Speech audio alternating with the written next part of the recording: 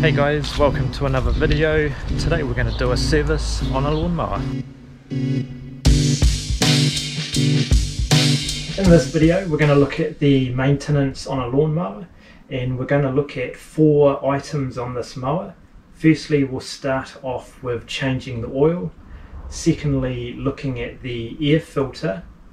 Thirdly looking at the spark plug and cleaning it if needed and lastly we're going to sharpen the blade on the lawnmower.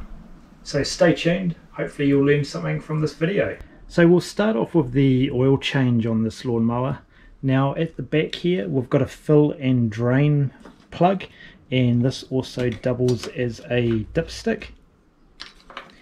And on the bottom of this lawnmower we've also got a drain plug so I'll just tip this up and you can see the drain plug there just at the top. Now you'll need to consult your manual on your specific mower type or motor on the mower and just work out the fill and drain plug locations so you're able to drain and fill the oil on your lawnmower. Now I think the cleanest process for this is to get this up onto stands and we'll drain the motor oil from the bottom of the mower. Now before we get started we're just going to unplug the spark plug lead. Now what that does is by unplugging this it'll minimize the risk of this motor firing. If you're working under the mower and you spin the blade around there's a chance that it could fire so by unplugging this just minimizes that risk. So we'll just get in, unnip this oil drain plug here so just to your left to loosen. Okay. Now we just want to loosen this plug enough just so when we've got it up on stands it just makes it a bit easier to undo. So that's undone now. We'll just leave it at that and we'll get this up onto stands.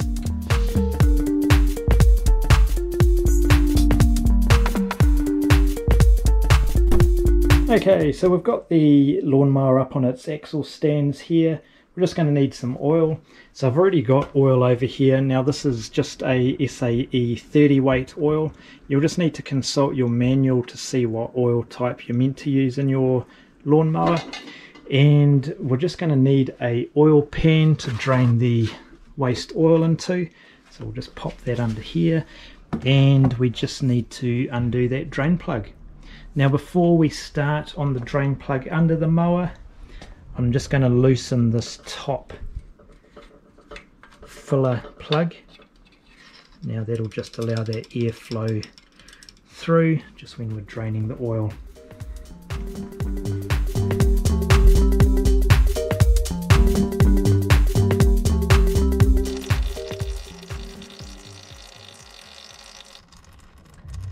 So we'll just give that enough time just to drain out. I'll just leave it sitting here just for a couple of minutes or so just to make sure all that oil is drained out of the motor.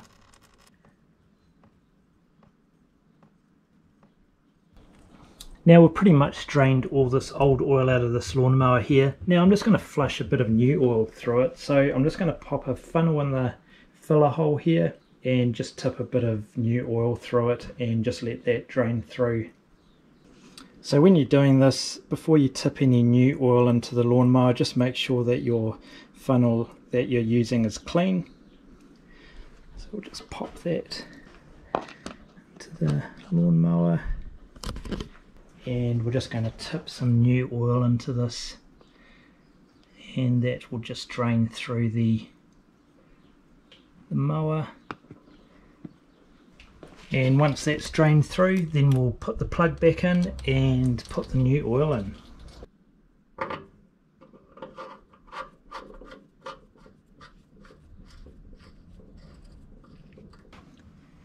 Now when doing this plug up you don't want to over tighten this so you don't strip any of the threads. So just get a feel for it basically you just want to do it up until it stops and not go past that point so you're just basically nipping this um, plug up so that's about it for this one Now I don't know what quantity of oil this lawnmower takes. Normally I just tip in um, a small quantity then just check on the dipstick to see how full it is. So we'll just do the same here.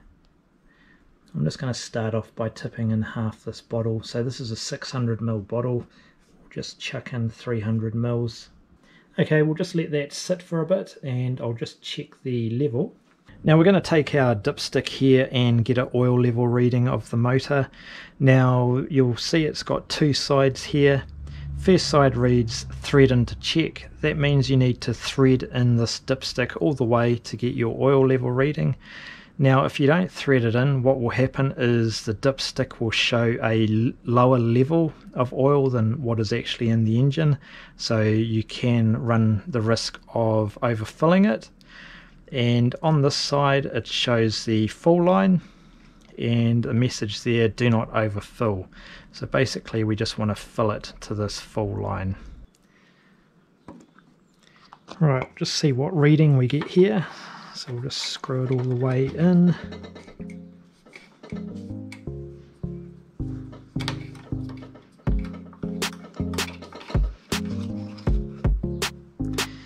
Okay, so we're not getting any reading there, so we'll just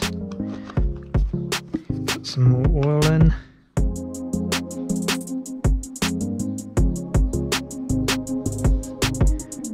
So I'm just going to put another 100 mils in.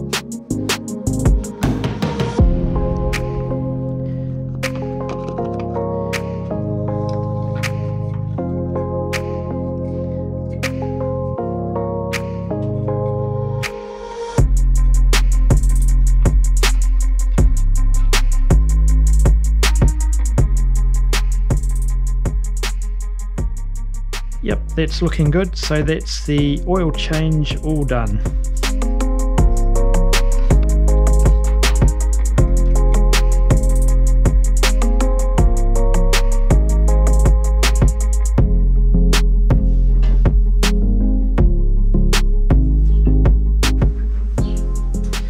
Okay guys, that's the end of part one, the oil change in this lawnmower. So we've successfully gone through and changed the oil on this mower.